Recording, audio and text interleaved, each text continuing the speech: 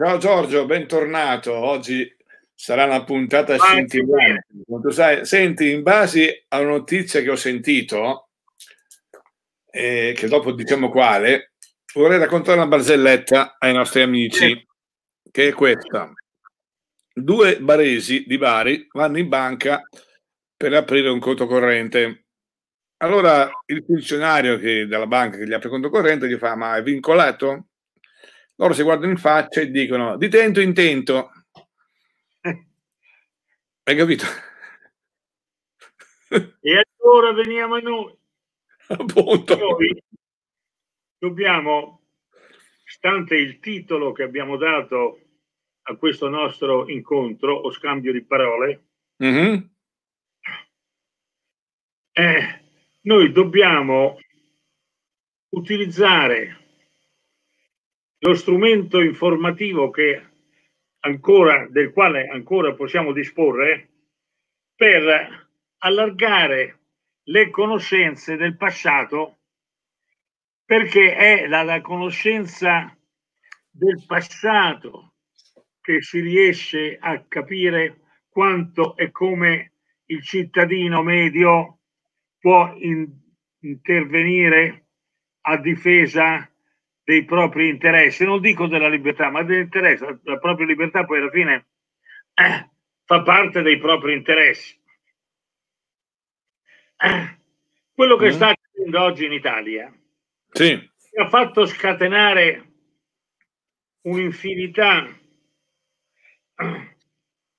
di social, cioè sì. questo è molto importante, ci ricorda una particolare situazione che si è venuta a creare prima, durante e dopo la rivoluzione francese. Perché in questi casi chi detiene il potere, formale o reale che sia, non le azzecca mai perché è naturale che non le azzecchi se si va a vedere alla storia della rivoluzione francese, si vede che fino al 1790 non c'è stata una iniziativa presa dagli elementi governativi che fosse all'altezza del fabbisogno. Di qui la progressiva incazzatura di quel popolo, che è un popolo che ha dimostrato di sapersi incazzare in maniera molto consistente, come hanno dimostrato adesso i gilet gialli, mm. invano copiati dagli italiani, perché gli italiani non hanno la forza, la costanza, la grinta, il coraggio di scendere in piazza e agire pesantemente. Detto questo, voglio far vedere un testo che ho qui a portata di mano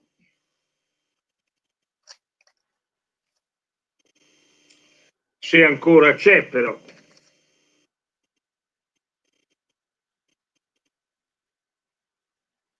Vediamo, lo trovi?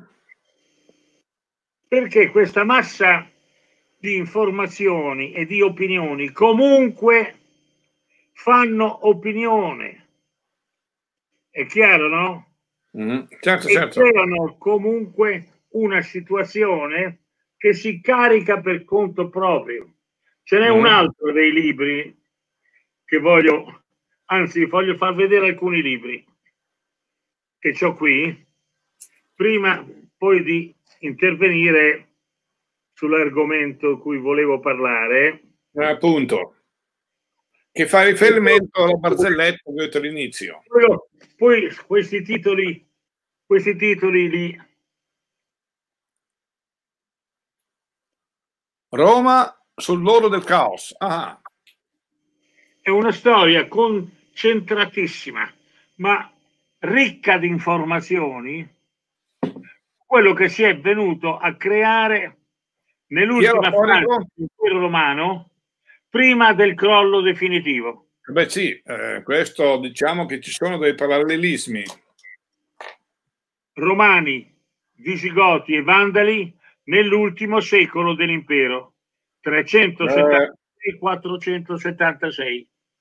un caos di iniziative, un caos di accordi palesi e sottobanco, invidia incredibile tra gli ultimi imperatori che erano dei cazzoni e i grandi generali che comunque c'erano. Ricordo un grande generale Ezio eh. che sconfisse Attila e poi i preti hanno fatto credere che Attila se ne sia andato per i buoni uffizi di un papaccio San Leone Magno capito?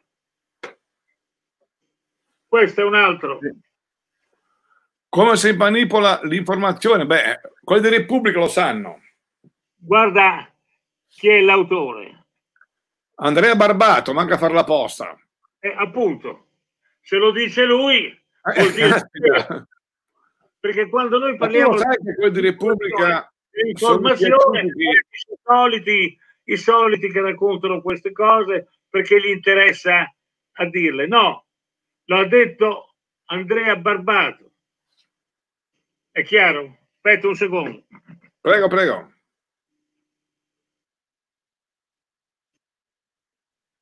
Eh, insomma, gli eventi di oggi ricordano un po' quelli successi verso la fine dell'impero romano, perché sono molte similitudini. E questo qua vediamo un attimo, scusa che metti gli occhiali, Cobban, la società francese e la rivoluzione. Beh, questo essere, dovrebbe essere interessante. Questi libri qui, per favore, alla fine li mettiamo nei titoli. Queste poche pagine, da dove scaturisce la scintilla che porta la gente a incontrarsi, scendere nelle vie, colpire coloro che vengono messi tra di loro per scompaginare, difendere il regime, se non si capiscono queste cose è inutile perdere del tempo e discutere. Ora, il governo al quale partecipano strani personaggi, perché qui il punto. Ancora chi crede che quelle facce da stronzo che sono, che si vedono come esponenti di questo governo, sì. crede, c'è qualcuno che crede ancora che sono loro quelli che fanno le leggi, che fanno le disposizioni. Ma poi ti immagini che si sono inventati 50, 50, sì, 50.000 controllori dell'ordine pubblico, sta gente qua. Poi se ieri si sono affrettati a dire no, sono disarmati, non hanno valore eh, legale le loro azioni, sono un'infinità di rassicurazioni perché loro sanno perfettamente che quella gente sparsa tra la popolazione italiana altro non sono che spioni, delatori. Infatti io li ho chiamati monatti, perché questi sono monatti. Andatevi a leggere una delle opere più importanti della storia della letteratura italiana, I Promessi Sposi, del grande italiano Manzoni, che vi spiega per qual è, la, qual è stata la ragione per cui certi personaggi furono chiamati monatti e noi a questi qui li dobbiamo chiamare monatti. Capito? Sì. Oh, su questo argomento poi ci fermeremo un'altra volta. Allora, il titolo è importante di questa nostra chiacchierata perché arriva il momento in cui gli eventi che noi viviamo confermano la storia del passato. Beh, infatti. Conferma quale storia? Quella vera, quella narrata dagli scrittori che vengono bollati di scrivere fake news e quant'altro, ma è che è la storia vera. E allora io ne voglio sfruttare questa situazione per leggere due pagine, due paginette, sì. che un amico, due paginette di fotocopie, che un amico mi ha fatto avere proprio questa mattina. Un amico che abita vicino a casa mia. Non so qual è il libro perché qui non c'è scritto. So solo che il titolo del capitolo è questo, il potere della piramide. Ah, eh. è, tutto, è tutto un dire, insomma, no? Ecco, quindi qui parleremo anche di un qualcuno che non a caso era stato soprannominato in tante maniere, giusto? Sì. sì. E di cui io ebbi una informazione indiretta, ma molto precisa, che ho anche raccontato in altre volte. Un qualcosa che accadde al questore che comandava una stazione di polizia che era anche responsabile di ciò che avveniva attorno a Piazza Cavour a Roma e da Piazza Cavour fino al Vaticano.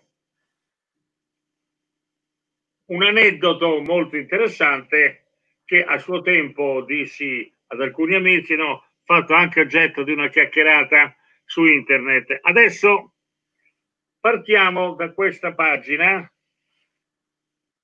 che è la pagina 231 di questo libro che, ripeto, il titolo del libro non c'è. Queste sono fotocopie. Ho capito. Beh, peccato, sarebbe opportuno dopo eh, capire che di questo libro. Prego. Moro voleva stabilizzare l'Italia, il politico statunitense voleva destabilizzarla. Anche la moglie di Aldo Moro, durante la sua deposizione, disse che una figura politica statunitense di alto livello aveva detto a suo marito o abbandoni la tua linea politica o la pagherai cara. Noi sappiamo chi è e presumo che anche i nostri amici ascoltatori lo sappiano. Chi fu l'uomo di cui fece il nome Corrado Guerzoni in tribunale? Henry Kissinger. Questa è una storia che conosciamo da lungo tempo. Le minacce che Kissinger fece a Moro e Moro si spaventò. Beh, infatti. Tornato in Italia, lo disse al vicepresidente della democrazia cristiana, e chi era all'epoca? Galloni. Ah, era Galloni, ho capito, sì, sì, sì, sì. Il quale a sua volta si spaventò. Quando però fu ucciso Aldo Moro,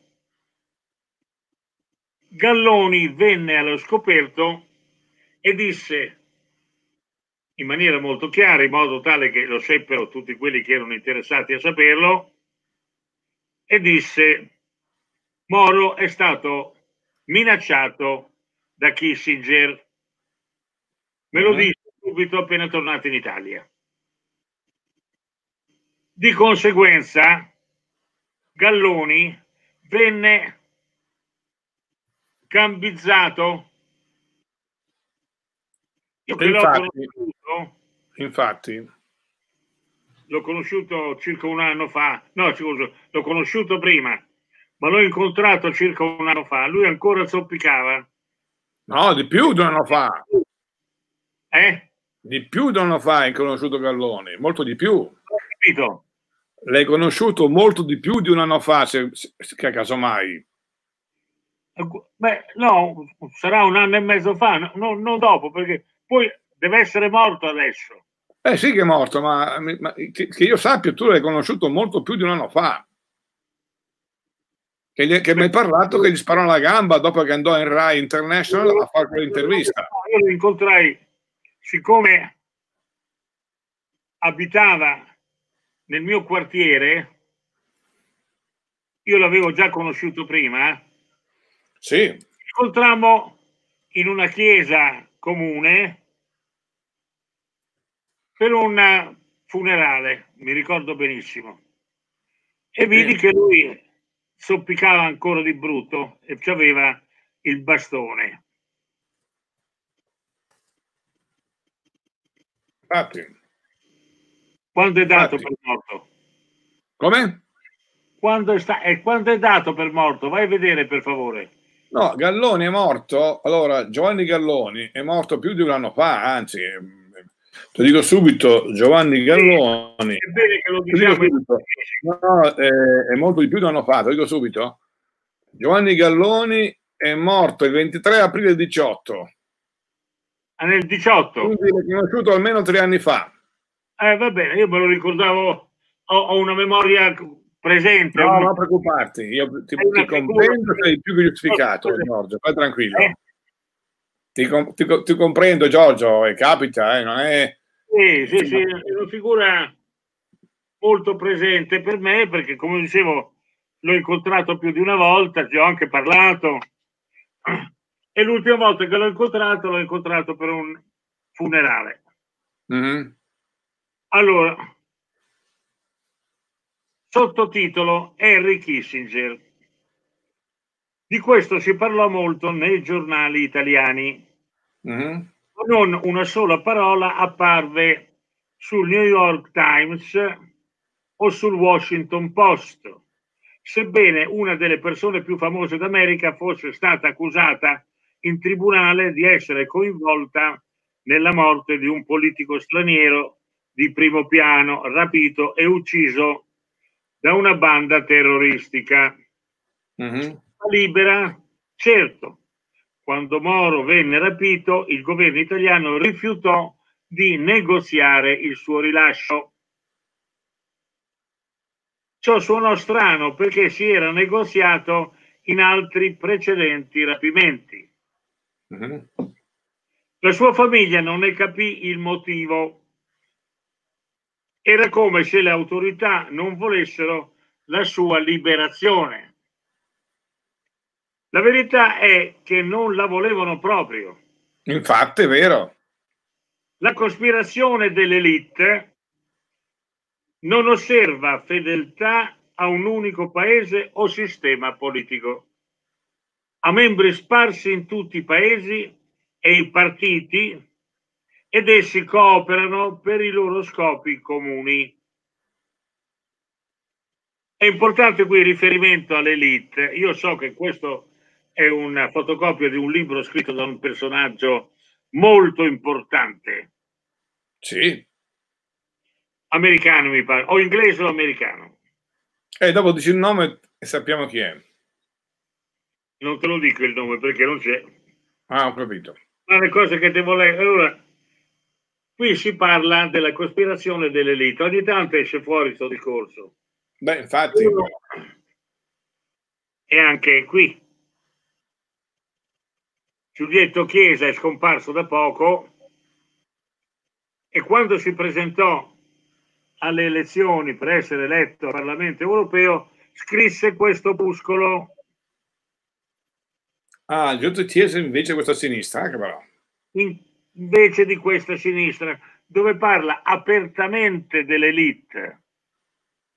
Perché non è vero che il discorso sulle elite che si fa oggi sia arrivato alla stampa solo adesso. Sì. Perché eravamo tanti a conoscere questa elite. Guarda questo. Next. Questa è una, per l'innovazione.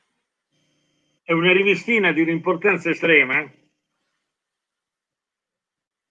E questo del 2003. è del 2003. Mm. Mm-hmm.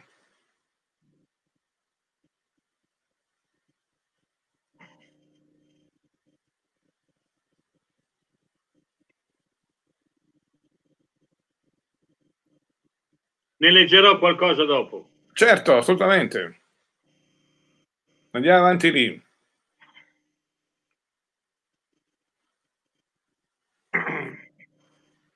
Dai, comunque il caso Giovanni Galloni. In tutti i paesi e i partiti ed essi cooperano per loro scopi comuni. Parlo degli elitari. Mm-hmm. Per loro non esistono paesi e confini se non come strumenti per spingere in conflitto una parte contro l'altra. Attenzione, questo lo scrive un grosso personaggio inglese americano, il nome è di quel tipo lì. Due nomi significativi trovati nelle liste degli iscritti alla P2 furono quelli dei finanzieri Roberto Calvi e Michele Sindona. Che, che bella coppia! I nostri amici che ci ascoltano sanno perfettamente che di questi personaggi incredibili, noi abbiamo parlato a lungo, ma c'è da parlare a lungo anche perché sono stati personaggi che hanno fatto più danni di quanto non si creda. Con loro compare il Sacro Soglio. Eh, sappiamo chi era. Quando noi, e quando noi leggiamo queste cose, leggiamo cose scritte da altri. Io finora non ho mai citato questi personaggi per citarli io stesso. Uh-huh. Citati perché sono citati in altri testi, come questo ad esempio. I gesuiti, Riccardo Tristano Tuis. Come questo. Vaticano pedofilia, questo di chi l'ha scritto? Chi l'ha scritto quel libro lì? Te lo dico.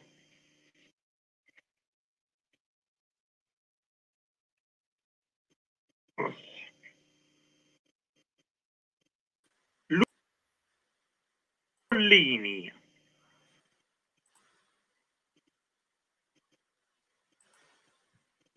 Da cui si capisce perfettamente mm.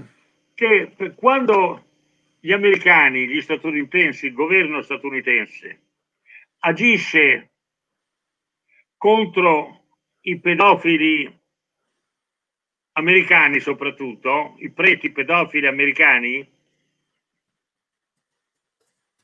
qui ci sono tutti i dati economici, mm. fa in realtà non una guerra moralista, ma una guerra economica. Perché la ricchezza della Chiesa Cattolica negli Stati Uniti è stratosferica. Beh sì, visto anche i Capito? soldi che hanno pagato per le cause. Ma qui c'è scritto tutto. Qui c'è scritto tutto. Certamente.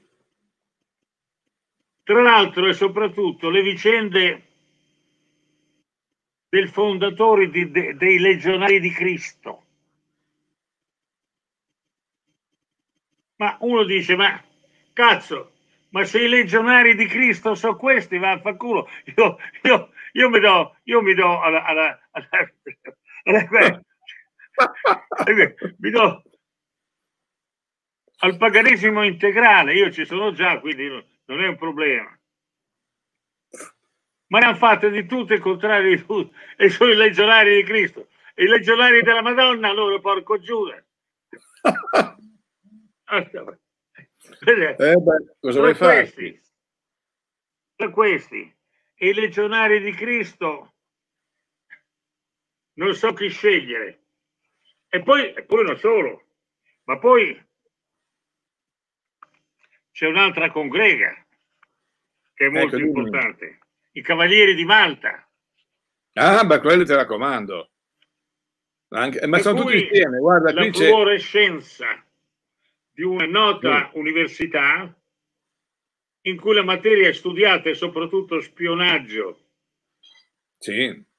trasferimento di informazioni, tradimenti sostanziali e vedi caso da questa università sono usciti fuori oltre a personaggi ovviamente legati al Sacro Soglio, ma soprattutto a personaggi che, vedi caso, figurano tra i grullini e tra i grullini sono stati scelti per essere messi in certi ministeri dove è bene che ci sia qualcuno a un, a un, a un capito? Sì, sì. Proseguiamo. Eh. Due nomi significativi trovati nelle liste degli iscritti della P2 uh-huh. furono quelli del finanzieri Roberto Calvi e Michele Sindona. Fu durante le indagini sul finto rapimento di Sindona, attenti che qui c'è un'informazione che io non sapevo e che è bene che i nostri amici sappiano. Prima del finto rapimento di Sindona non era stata ancora scoperta la P2.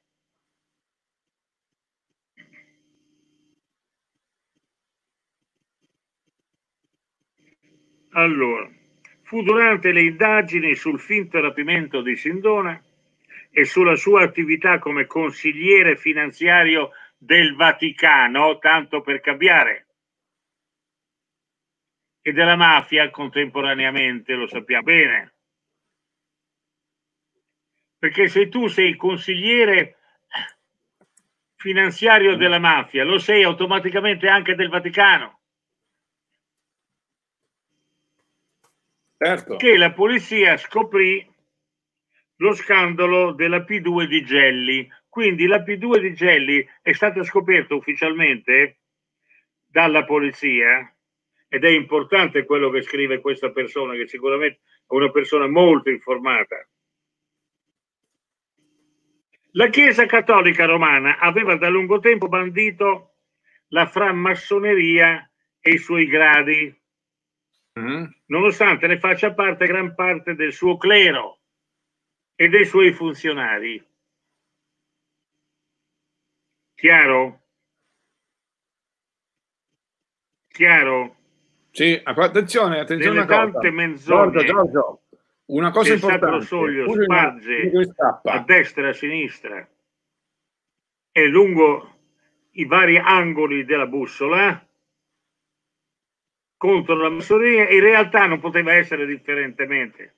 Chi agisce sotto banco, chi agisce soprattutto con interessi economico-finanziari nascosti, non può non avere contatti di filiazione con organizzazioni mafiose e massoniche.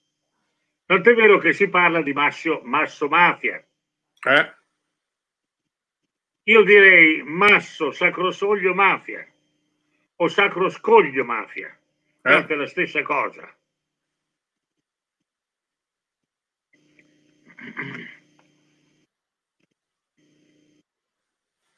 Durante il periodo di Gelli, tuttavia, quando l'ostilità ufficiale del Vaticano alla framassoneria fu significativamente ridotta, la loggia P2 esercitò il proprio controllo sullo Stato papale attraverso l'infiltrazione di Gelli, Calvi e Sindona. Eh. Attenzione, porgi le orecchie. Mm-hmm. Il Papa in carica durante questi anni di infiltrazione piduista era Paolo VI. Eh, che fu lui a ridurre l'opposizione nei confronti della framassoneria. Eh, eh. Non è una novità per me. No. All'interno della Chiesa Cattolica Romana. Un editore canadese, attenzione, queste sono cose molto importanti che io non sapevo. Un editore canadese, Daniel Scallen, ingaggiò l'agenzia di investigazioni Pinkerton di New York, quelli che davano la cassa a Jesse James. Ah, ciao. Per indagare anche, anche agenzia Pinkerton si interessò anche ai tempi di, di Petrosino si interessò anche dei rapporti tra la mafia siculo napoletano-americana e il crimine organizzato della mano nera negli Stati Uniti. Ne morì ovviamente Petrosino che fu assassinato dai mafiosi. Certo.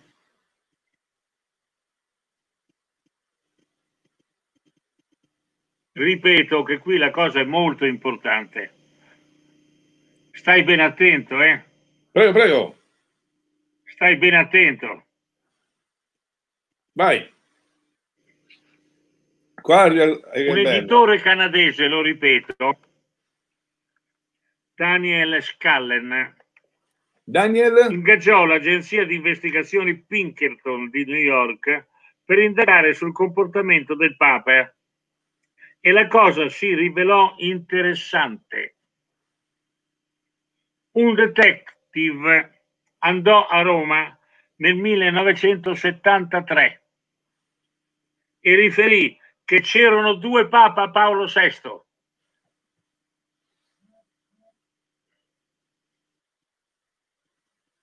Non erano Due- fratelli siamesi. Due Papa Paolo VI, questa, ma questa è veramente grossa, eh. Perché una frase de, non erano fratelli del tempo perché sennò avrebbero dovuto essere attaccati in certo modo, che non è il modo migliore con cui sono attaccati tra di loro i fratelli siamesi. Mi capisci? Eh, eh, eh, eh, eh. Ma scusa, il sosia di Paolo VI era uguale a lui o... Questo detective suppose che si fosse fatto ricorso alla chirurgia estetica per creare un sosia del Papa. Caspita. Ma solo estetica o anche... Com'è? Chirurgia estetica non è una novità per i preti, soprattutto per il Sacro Soglio. Hai voglia tu?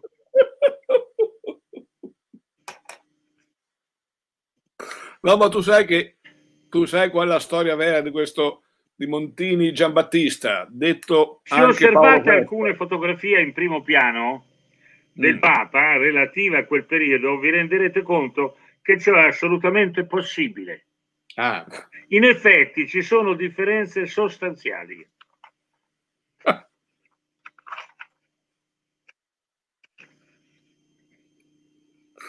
No, ma dico, il tipo era uguale, uguale, uguale, anche nei vizi? Eh, Giorgio. Dico il sosia. Era uguale Registrazioni su nastro? Eh. di discorsi tenuti dal Papa Ah, in occasione del Natale e della Pasqua furono analizzate dalla FBI caspita. che scoprì che si trattava di voci di persone differenti. Ah, eh però. Durante le sue indagini, la nipote del Papa, che apparteneva alla nota famiglia Montini, ammise davanti al detective che c'era veramente un sosia. Non è una novità, non, non ci stupisce affatto. Eh, Sai ai tempi del Valentino quanti sosia c'erano? uh, Basta leggere a fondo il Machiavelli per capirlo subito. esatto. Durante le sue indagini, la nipote del Papa mise davanti al detective che c'era veramente un sosia e aggiunse anche che la sua famiglia, che faceva regolarmente visita al Papa in Vaticano, Ah, sì. era a conoscenza di ciò. Caspita. L'indagine terminò quando il detective venne arrestato a Roma e condannato a quattro anni di prigione. Porca miseria. In seguito fu deportato e poi sparì. Sparì. Alcuni trovarono inverosimile ciò che dissi in The Robots Rebellion, circa Esatto, l'uso di sosia per alcuni personaggi pubblici. Quindi questo è un autore che ha scritto anche The Robots Rebellion, ma non saprei chi fosse perché ho questo libro che è chiaramente di fantascienza, La ribellione dei robot, non lo conosco. Mm-hmm. Ma non lo è. Sapete, oggi è stato dimostrato che Saddam Hussein, che abbiamo visto dopo la guerra del Golfo, non è lo stesso uomo che vedevamo prima della guerra, è molto probabile. Ah sì.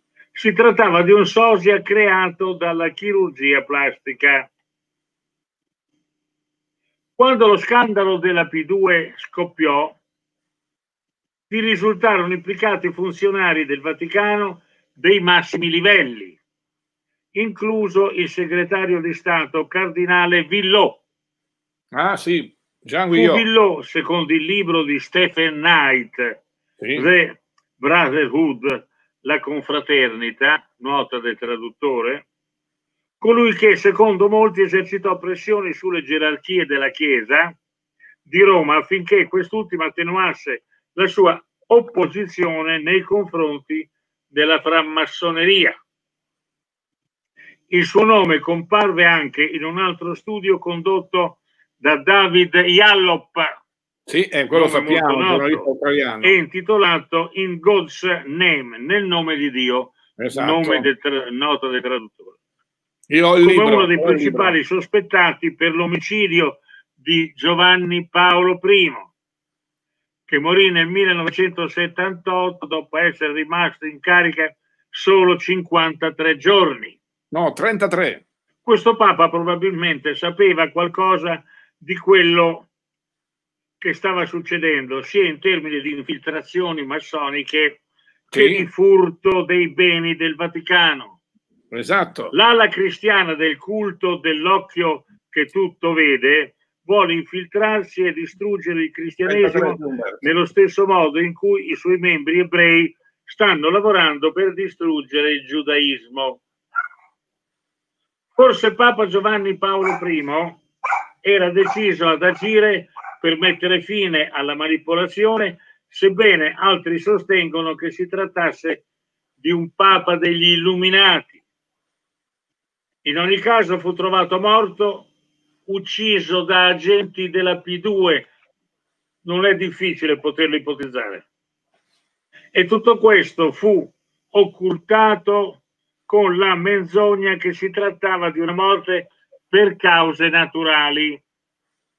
I medici, attenzione anche a questa scritta che è molto interessante, i medici che ebbero il permesso di esaminarlo apparvero confusi ed ognuno di loro suggerì una causa diversa. Infarto, cancro e tumore al cervello. A voi la scelta.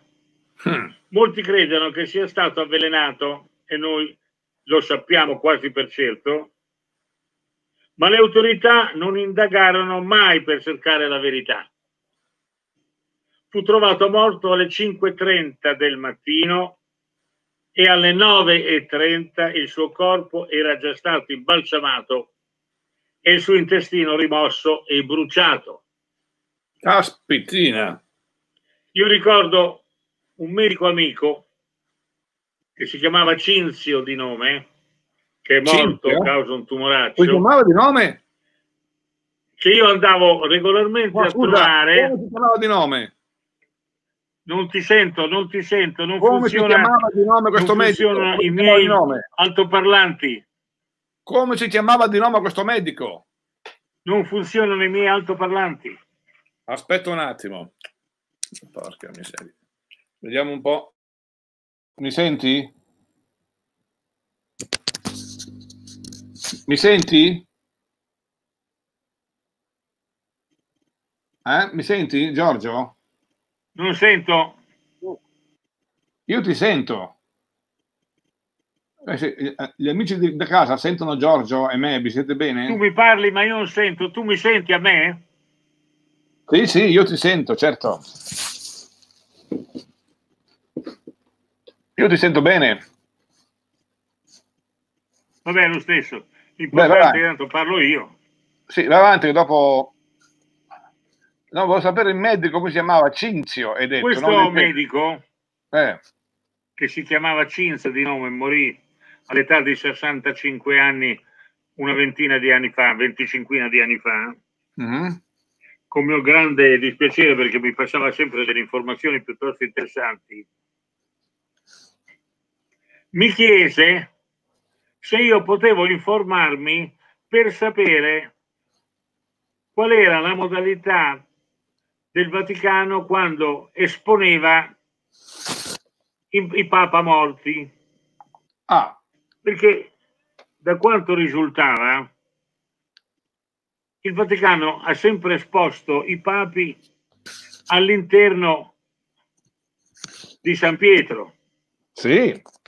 Nel caso di questo qui, invece, Giovanni Paolo II è stato esposto in una stanza di altro tipo, il che è un segnale molto chiaro, ma io non conoscevo, ho chiesto mm. a qualcuno, ma non lo sapeva nessuno. Mm. Quindi questo Papa è stato esposto in una posizione chiara per chi poteva capire. Chiaro? Un linguaggio massonico. Molti credono che sia stato avvelenato, ma le autorità non indagarono mai per cercare la verità. Fu trovato morto alle 5.30 del mattino e alle 9.30 il suo corpo era già stato imbalsamato e il suo intestino rimosso e bruciato. Più chiaro di così eh. non c'è bisogno di nessuna esposizione. Direi proprio. Non ci fu alcuna autopsia. Stansfield Turner, CFR, ex direttore della CIA, mm.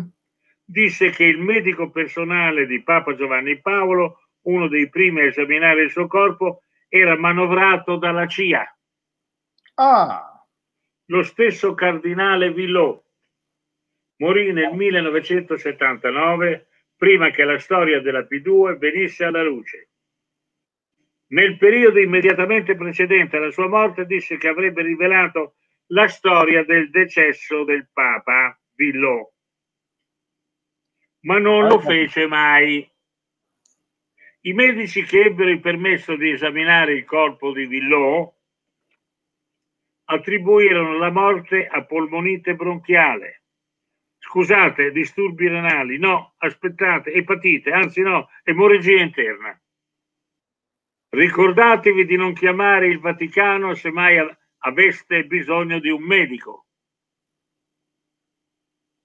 Michele Sindona, membro della P2, truffatore finanziario, riciclatore di denaro e in seguito imputato di omicidio, aveva ucciso quel povero avvocato che curava eh, la, la, la, il fallimento della banca di Sindona, ebbe a che fare con la Banca del Vaticano e con l'Istituto per le opere religiose, IOR, e presentò il suo socio Roberto Calvi al direttore della banca, il vescovo Paul Marcinkus.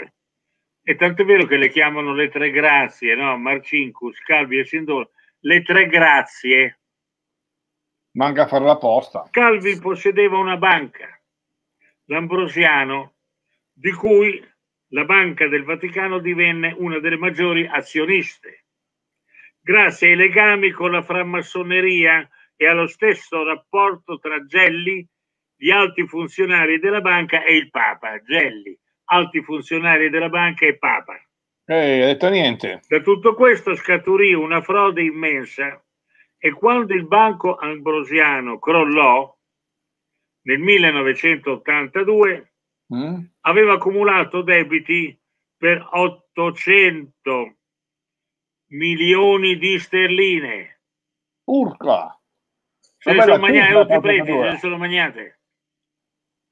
Una bella cifra. I loro amichetti.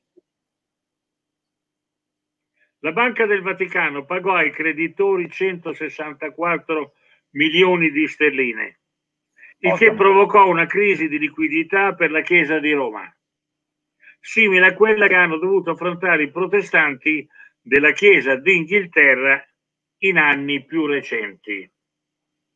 Mm. Questione che io non ho mai saputo e non me ne frega un cazzo oltretutto. Roberto Calvi, che divenne noto al pari di Sindona come il banchiere di Iddio, e beh, questo è il punto cardine. Mm era il noto banchiere di Iddio. Scappò in Austria e poi in Inghilterra dove arrivò il 15 giugno 1982. Due giorni dopo la sua segretaria Graziella Corrocher, che teneva i libri della P2, cadde da una finestra del quarto piano del Banco Ambrosiano.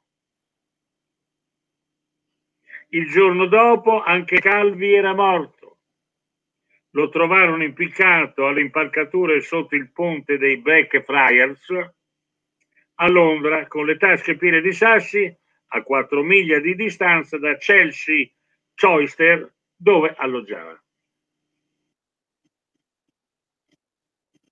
Uh-huh. Mentre il suo corpo veniva scoperto e la stampa veniva informata, la polizia italiana e altri funzionari stavano già noleggiando un aereo per l'Inghilterra ma non c'era bisogno di affrettarsi tanto visto che un sacco di massoni infiltrati fra le autorità londinesi avrebbero potuto fornire la giusta copertura per questo omicidio. Un'inchiesta da parte delle autorità londinesi si concluse con un verdetto di suicidio che appare assolutamente poco credibile.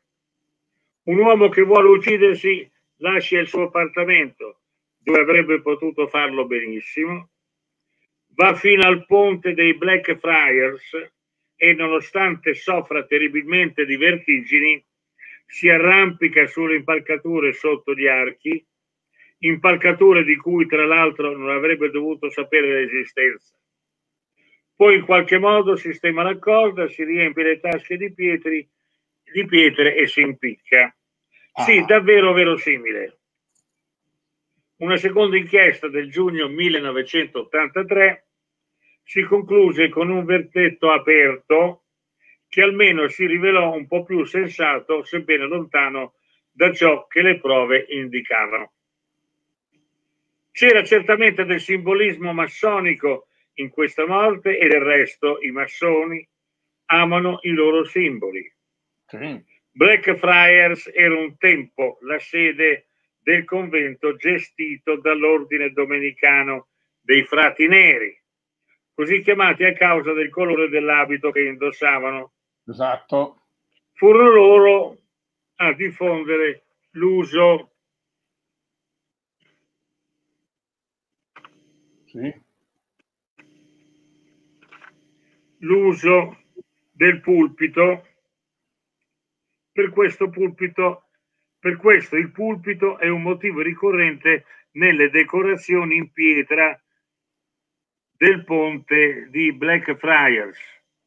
Alcuni membri della loggia P2 si vestivano come i frati neri durante i loro rituali.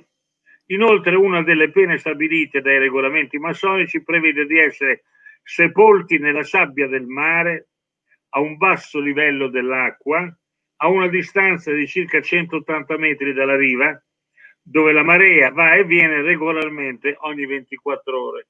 Qualcosa mi ricorda, ah, mi ricorda così lontanamente i distanziamenti previsti dall'attuale pseudo governo, no? sono distanziamenti, uh-huh. distanziamenti sociali che ci ricordano ah, appunto l'uso massonico. Sì. Eh? sì. Anche una carta dei tarocchi ritrae la morte sotto forma di un uomo impiccato vicino all'acqua. Noi l'abbiamo già fatta vedere più di una volta. Indipendentemente dal dettagliato retroscena, è evidente che Calvi fu ucciso o per quello che aveva fatto o per quello che sapeva su ciò che era accaduto. Per tutte e due, diciamo noi.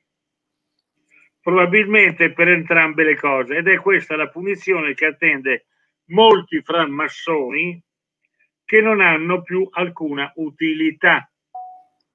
Sarebbe bello credere che lo scandalo della P2 rappresenti un caso isolato, ma io non ci credo. In moltissimi paesi, sicuramente in quelli più potenti, bisogna ancora scoprire, non ho dubbi, cellule simili di frammmassoni dell'elite che creano e controllano uno Stato dentro lo Stato.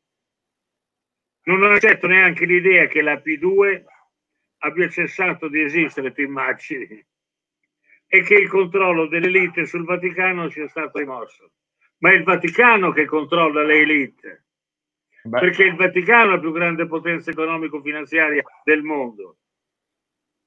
Cosa mai che conti, che ne so, eh, la regina d'Inghilterra, tanto per fare un nome, o soprattutto i familiari della regina d'Inghilterra, il re dell'Olanda, il re del Belgio, tutta gente affiliata che conosciamo molto bene.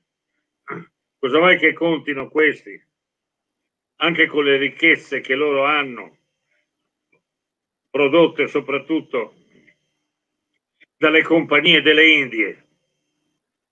Certo. Vuoi che contino di fronte alla, alla potenza globalizzata del Vaticano e delle finanze vaticane?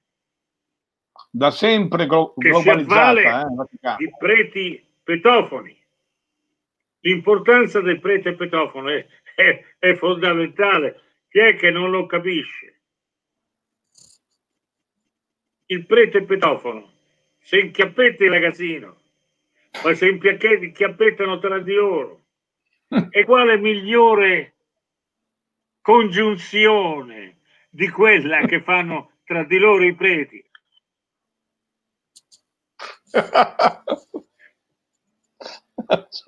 C'era quello che si chiedeva per quale ragione i preti hanno tonsura, la tonsura tonda qua dietro.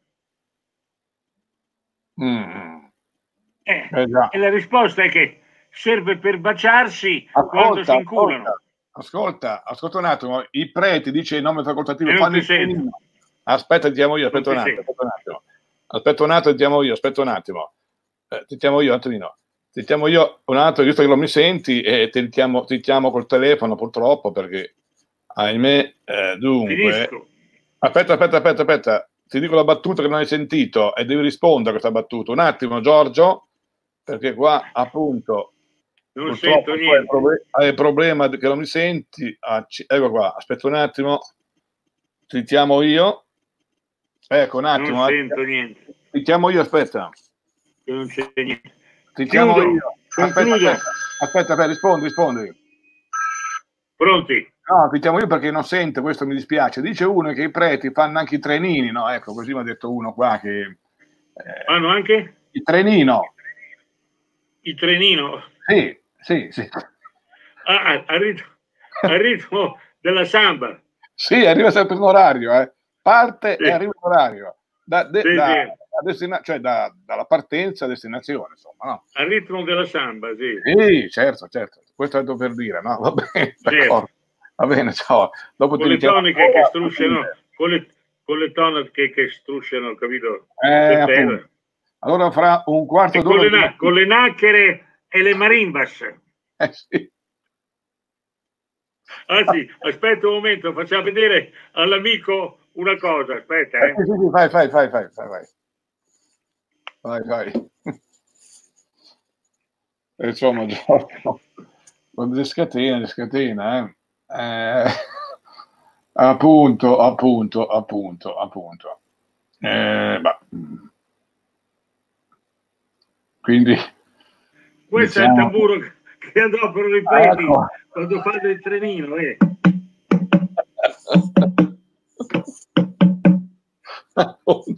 eh beh, insomma, si dà da fare. Eh. Questo è il punto. Eh. Vabbè, eh, finisco. Che perché è importante anche questa.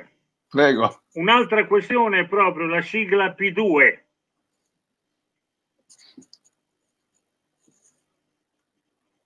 Attento, eh. Prego.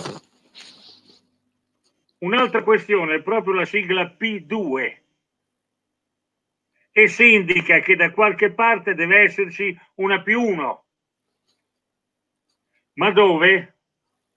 Quasi certamente negli Stati Uniti o nel Regno Unito, probabilmente in entrambi i paesi. Mm-hmm. Poi c'è il capitolo dedicato ai Cavalieri di Malta lo leggeremo un'altra volta. Sì, certo. Lo leggeremo ancora, anzi. Però questo P2 può voler dire anche che Paolo, i Paolo sono due. Eh, è ovvio. È ovvio, sì, sono due. Certo. Dopodiché, siccome tu non sento quello che dici, siamo costretti a chiudere qui. Sì, oh, chiudiamo qui. Eh, un altro che ti dico di stare Però, lì. Perché... Prima della chiusura, mm. voglio leggere una frase qui che è molto bella. Sì, sì. Da sì, questa rivista. Va bene. Che è la rivista della Facoltà di Sociologia dell'Università di Roma.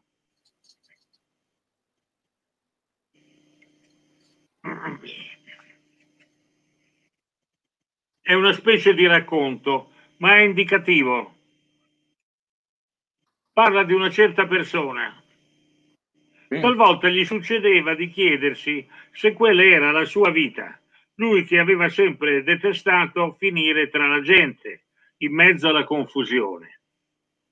Ma poi cancellava la vena di malinconia, gli altri lo cercavano, lui parlava poco, lei era così elegante una caviglia seducente. Il tuo uomo delle strategie è impresentabile, sembra un baratto. Lo disse facendo il broncio, ma col tono di una che era ormai nella parte di signora del presidente. Ah. Così anche l'ultimo ostacolo venne rimosso. Gli presentò una sua amica, quella che presenta l'amica, è la signora del presidente. Gli presentò una sua amica. È bravissima, disse. È quella che ci vuole, vedrai. Vide uno splendore di fanciulla, non c'era dubbio, e anche intraprendente. Apprezzò la generosità della sua compagna che non aveva timore di doversi confrontare. A conferma che le malelingue erano in torto. Insieme la nuova e la vecchia, vecchia, punto interrogativo, formarono una coppia perfetta. Una in famiglia, una sul lavoro. Poi, come naturale, i cani si mescolarono e tutto divenne più fluido. Ogni cosa trovava la sua collocazione naturale e i problemi non sembravano aver modo di radicarsi. Fu un periodo di feste bellissime. La strategia non ebbe successi apprezzabili, ma il divertimento era assicurato. Alla sua età non se la sentiva di pretendere di più. In casa ci furono dei cambiamenti impercettibili. Prima lei sostenne che era più igienico avere camere separate. Lui aveva i suoi ritmi e andavano rispettati. Per non disturbare le sue riflessioni serali, inoltre, le due amiche si adattarono a restare fuori sempre più spesso, così che tornando non c'era alcuna ragione di svegliarlo alla sua età si recupera più lentamente e lentamente si prende coscienza. Così quando si accorse non reagì male. Alla mia età già guardare è una benedizione, si disse. Loro glielo concessero.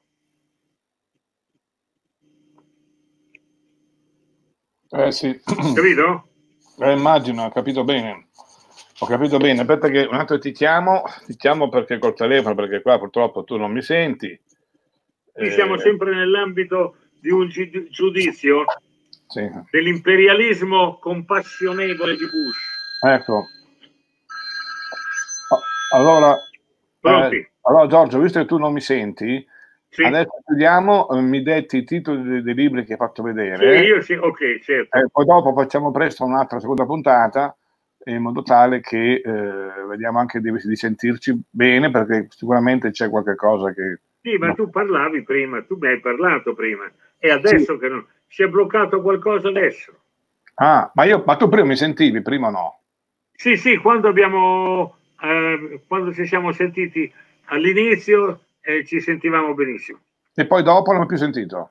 Esattamente. Ho capito, beh, niente, allora rimane lì così col telefono attaccato che mi letti il titolo. Intanto saluto gli Esattamente, amici, va bene. Qui, vi saluto e, e, facciamo presto un'altra puntata, eh? va bene?